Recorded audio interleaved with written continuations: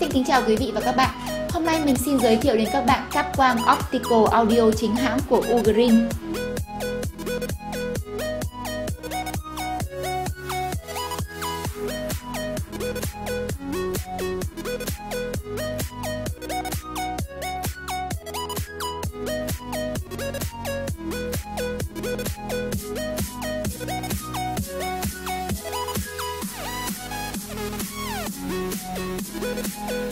Cáp quang Optical Audio có hai loại, một loại có chiều dài 1m và một loại có chiều dài 1,5m.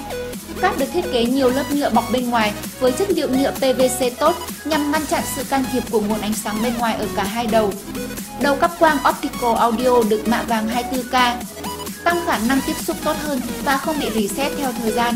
Cáp có đầu chụp bảo vệ ống quang học khi không cắm thiết bị.